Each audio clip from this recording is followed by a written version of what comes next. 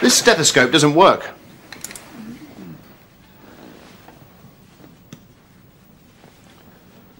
Sounds all right to me.